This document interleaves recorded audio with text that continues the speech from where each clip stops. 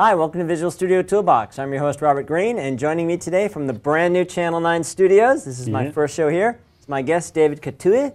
Hello? Pronounced it correctly. Absolutely correct. Excellent. That's the French way. I love it. Uh, I like to pronounce people's names correctly when they. If, if you're going to come on the show, I should get your name right. Yeah, That's thanks. Kind of my I rule appreciate thumb. and we, uh, David's joining us today to talk about the UWP Community Toolkit, Correct. which is a set of uh, some controls, some helper functions uh, that is just released on as a NuGet package Correct. recently. Yes. And so you're going to show us what's in it. Mm-hmm. Why was it created? What does it help me do? Okay. Fun stuff like that. So perfect. So UWP Community Toolkit. The important point here is community. Okay. Um, the idea since the very beginning was to involve the community with us, uh, to help us figure out how to simplify um, UWP development. So today you can grab the, the SDK, get Visual Studio, and you can start working on your application. But sometimes you may have to deal with plumbing, or sometimes you may expect high-level controls that you don't find in, Right. the, in the SDK, uh, for good reason, obviously. And uh, to fix that, the idea was, uh, should we create a toolkit just on our own and then give that to the community, or should we just be more open and just start with the community? And at the very beginning, we handpicked uh, several MVPs, the most involved, and I can think about Scott uh, Lovegrove or uh, Morten Nielsen from the community. They are really active guys in the community. They are helping the community to build uh, UWP applications. So the plan was to start with them, think about what we could do for V1. So when you say we, We, exactly who's we? It's Microsoft. Uh, In my team, we are um, four people. Uh, my team is inside Windows. The name of the team is uh, mm, Partner Application Experience, Okay. PAX.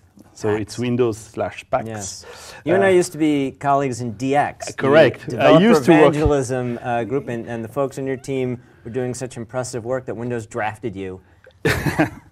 Thanks. and my And now work, you're over there. Yeah, my work here is a kind of an extension of what we did in the uh, evangelism world. The, the idea is clearly to help community Mm-hmm. use our tools and create fantastic things, fantastic applications. We are not creating applications for them, but at least we provide um, required bricks that they can use to build their own applications. So it was the case uh, back in DX, and it's more Windows focused right now, obviously. Right. Mhm. So here enter the UWP Community Toolkit. Um, I can probably show you, we have a sample application. Okay. The toolkit itself is based on a uh, GitHub repo. So if Yep. you want to go to the GitHub repo, which is right here at Microsoft slash UWP toolkit, you will find all the code of the toolkit itself and of the sample Okay. application.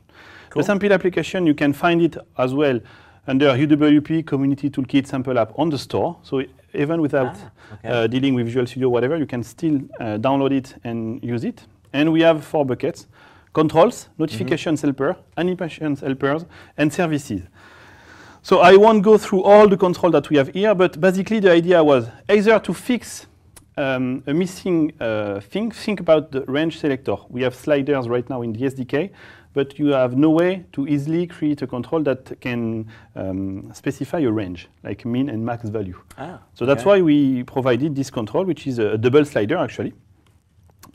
And uh, we also have kind of control that you can already do today with the SDK. For instance, hamburger menu can be easily done using a split view.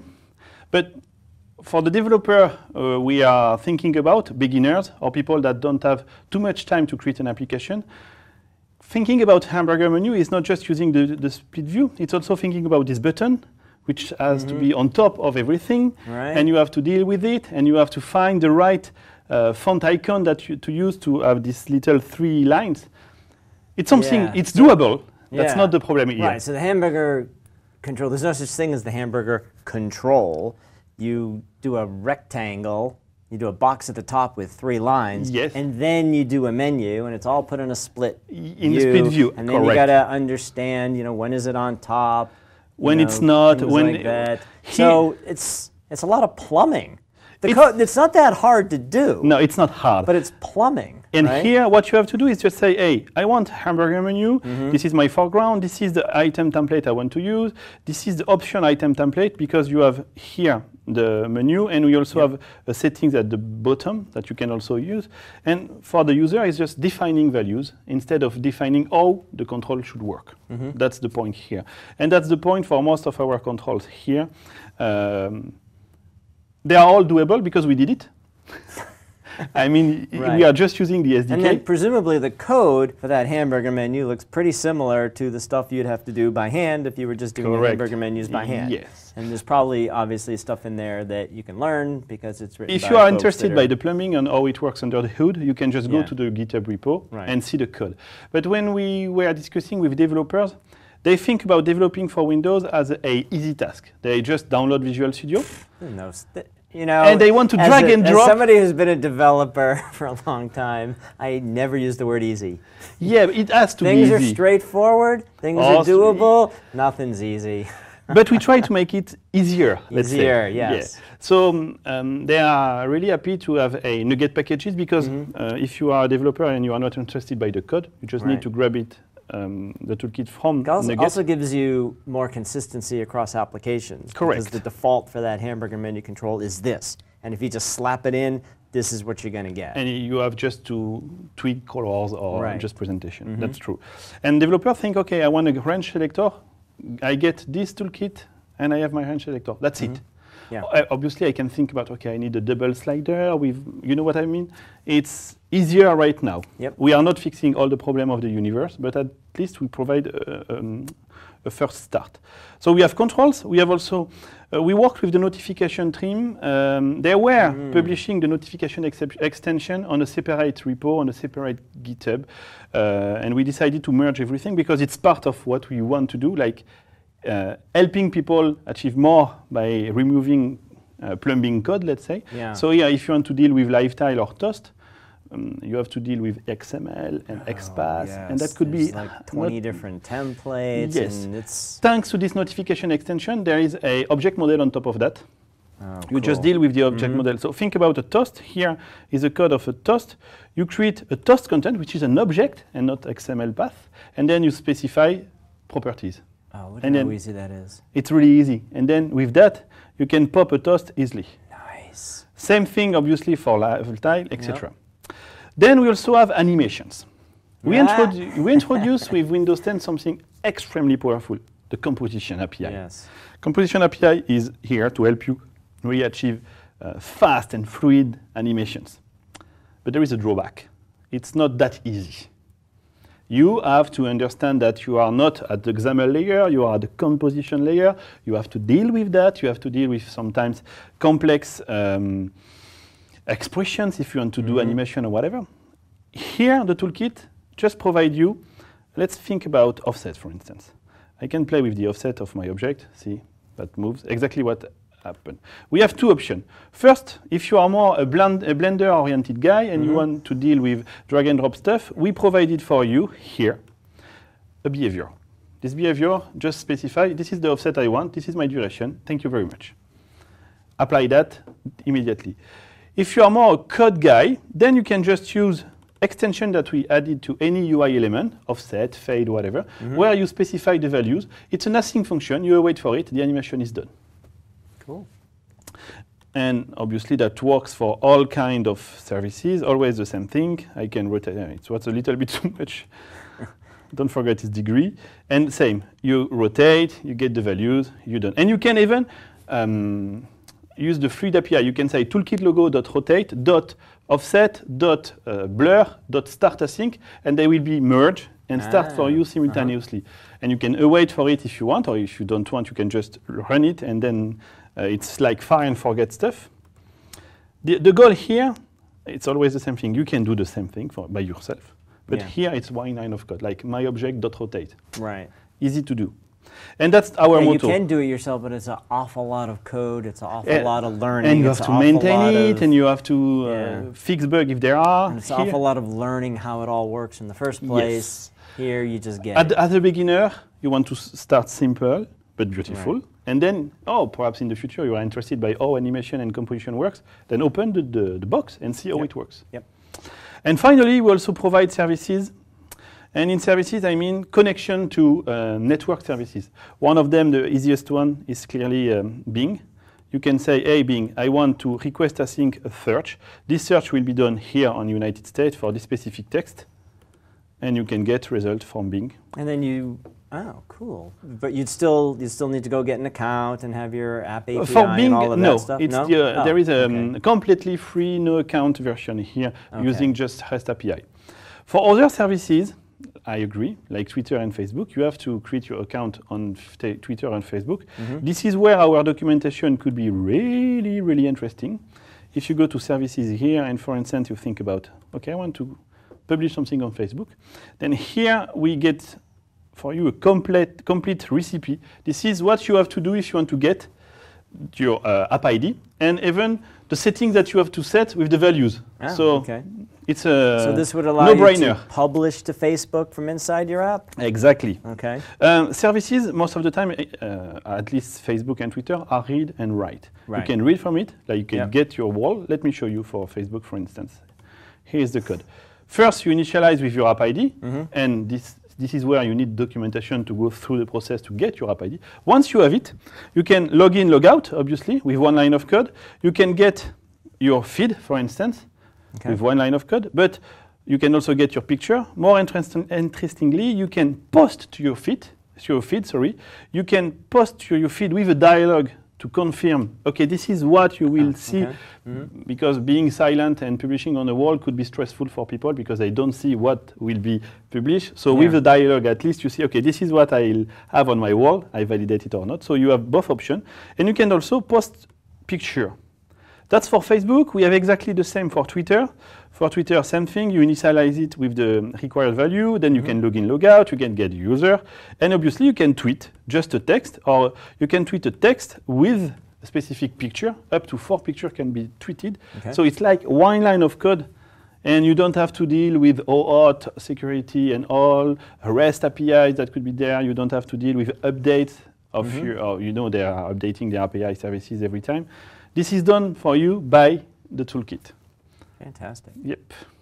This is it. Great. So, how many people contributed to it? Ha! So it was unexpected, I would say. We started, we launched it um, one week and a half ago, Okay. and we are already at seven, 637 commits. Wow, with Yeah. 25 different contributors. 25 different contributors. We have 47 issues open. Some are bugs because we also have bugs. Uh, but Okay. most of the time it's feature requests. This is the idea. Add drop shadow in the animation library, all that kind of stuff. People and the community is uh, responding tremendously.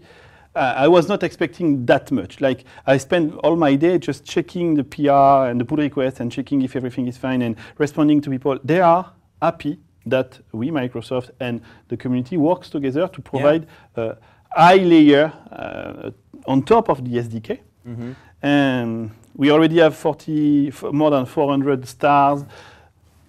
Moving forward, do you do you see a continue that will develop some community will develop some? I hope so. Will it ultimately just be all the community? Um, I would love to be able to remove the toolkit completely. Uh, because uh, obviously in the, um, the future, the SDK will get more and more feature in it. But in the meantime, I would say that uh, I mean, contributions to the toolkit. I mean, uh, I'm expecting 80% community, 20% Microsoft. We are, we Microsoft are here to keep quality and to work on things that are not easy to work on. Like, for instance, I'm planning to add more accessibility to the controls. So, and that's not something easy to do, and people are most of the time reluctant to do that. But we, Microsoft, we need to ensure that everyone can uh, use these controls and be able to uh, create application with it. So that's part of the thing we will do. And then uh, it's, uh, I see that as a um, project management uh, job for me. Right. Like people are coming, hey, we think about this. They discuss between them, and at the end, we need to take a decision. Then Microsoft can come and say, hey, this is our opinion. Community say, this is what we think. At the end, we find a common way, let I say, and then someone can develop that. It could be Microsoft, and it and it could be community. Cool. So, what uh, if you if you know what additions are currently being worked on? What, what could we expect to see next? It's easy because we have uh, flagging uh, our issue. We, um, we actually know the community uh, provided a blade control. I love this one. You see the um, Azure portal, the new one. When you click on a button, a new blade is added, and then you click on this one, a new blade. So you have this kind of tree view. It's like a tree view, but with blades one after Mm-hmm. the other. We have this control right now, ready for 1.1. So 1.1 will be Okay. end of September. Ah, cool. Uh, we also improve uh, various things like bugs. If I'm taking care, we will have drop shadows, a new option. So we have blur, rotate, scale, etc. in the animation library. Drop shadow will be there. Um, what else? Uh, we have, like you see, here, uh, we have a carousel with composition. We have a wrap Okay. control. We have a Bing services supporting for video, and you see, that's a lot. Fantastic. Yes, and that's just end of September. So for V1.1, we plan, we hope to ship a version every month. Every month. Every month. Interesting.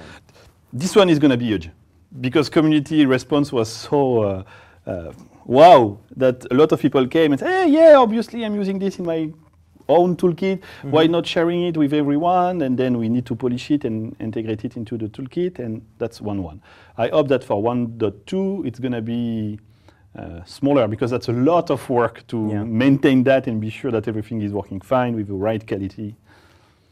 Cool. Very cool Yeah. stuff. So, if anybody's doing, for people who are doing UWP development, everybody doing that should absolutely take a look I at think so. I think so. You know, I've, I've done hamburger controls before, and I got the code from Shen's blog, and you know, it was understandable. It's you know easy enough to figure out, but Just you know, one control to drag going- and drop. Well, going from never having done one before to finding his blog to reading his blog and playing around with it, you know, it's several hours worth of Yep, getting started versus just being able to, you know, get this toolkit and say, bam, hamburger control, let's move on. So Yep. that's really, really cool. That's the and today, to be honest, I thought the controls should have been the most um, exciting part of the toolkit, and to me, that's my own opinion. It's Yeah. not. I'm extremely excited by animations because you can merge them. Yeah. and that's extremely easy to do wow things with it. And services like publishing to Twitter was al- or Facebook was always a pain, and Yes. now Well, the thing about animations, that would be the difference between having it in your app and not. Because the amount of time it would take to learn how to do that is Yes. probably daunting. So you'd say, oh, well, in the next version or Yes, somewhere down the road, wait, I'll add animations when I have time to learn how to do it. Now you don't have to learn anymore. You just Yeah. get, you just get it. I had an application and I wanted to add a blur uh, when I display a message box, and I was, oh, um, and, but now it's like background dot blur, display my message box, that band, but go. remove the blur. Done. Three cool lines of code. stuff. cool stuff. Awesome. All right. So, uh, people building Windows 10 UWP apps, get the toolkit, uh, download it, play around with it. Let you guys know what you find. Come, uh, create issue if you have a, question, if you have um, uh, something that you want to add to the toolkit, or if you want to contribute, just create an issue that's clearly open to everyone. We are accepting all PRs. Excellent. We'll have you back sometime in the fall to show us what's new. Excellent idea. Cool. Thank you. All right. We will see you next time on Visual Studio Toolbox. Bye bye.